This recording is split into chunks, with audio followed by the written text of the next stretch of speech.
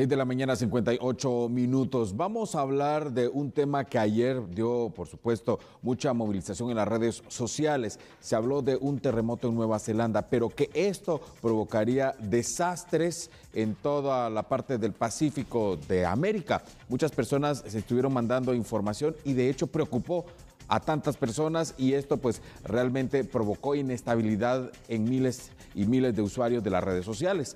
Precisamente por ello, para explicarle realmente la situación y qué es lo que está pasando con ello, me voy a enlazar en estos instantes con el periodista Alfredo Mendoza, que relata que el oleaje está un poco más alto y de hecho aquí tenemos toda la información. Adelante Alfredo, muy buenos días. Así es, gracias y muy buenos días, amigo televidente, compañeros en el estudio. Qué gusto saludarles nuevamente. Tenemos un reporte preliminar relacionado a una alerta de tsunami que ha girado el Centro de Alertas de Tsunamis del Pacífico. Esto es un ente pues, investigativo a nivel internacional. Esto luego de que en las Islas Kermadec, estos en las costas de Nueva Zelanda, se registrara un terremoto superior a los 8.1 grados en la escala de Richter. Información preliminar que tenemos es que esto pues ha generado el incremento del oleaje en las costas del Pacífico en el continente americano. Estamos hablando que en México ya se registra pues el incremento del oleaje en unos 17 centímetros, en el Ecuador de unos 12 centímetros según el último boletín, boletín número 7 que ha emitido el departamento de Insibume y estamos pues a la expectativa de que en Guatemala se pueda registrar un leve incremento en las olas.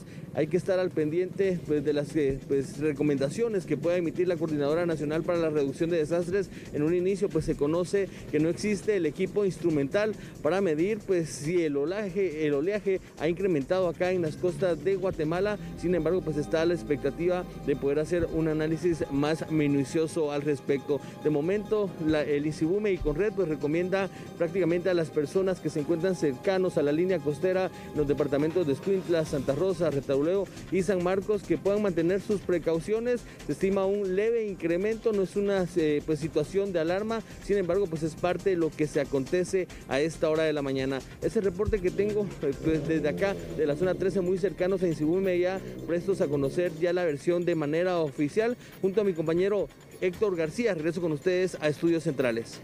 Alfredo Mendoza, muy buenos días, muchísimas gracias. Se incrementa el oleaje allá en las costas del Pacífico. Estamos hablando las costas de San Marcos, Retaluleu, Suchitepeques, Escuintla y todo este sector del Pacífico de Guatemala. Por favor, queremos pedirle en primer lugar que mantenga siempre la calma, siga las recomendaciones de las autoridades pero también no se deje guiar por cadenas de redes sociales que en algunas ocasiones lo que provocan es inestabilidad. Recuerde, existen las maneras oficiales en las cuales usted se puede enterar, el INSIBUME, además, Aquí en Telediario nosotros tenemos el reporte completo, este leve incremento de oleaje de las costas del Pacífico, que según se menciona es normal por el movimiento de las placas en otra parte del planeta, pero sobre todo que tienen cierta conexión con el Pacífico de Guatemala.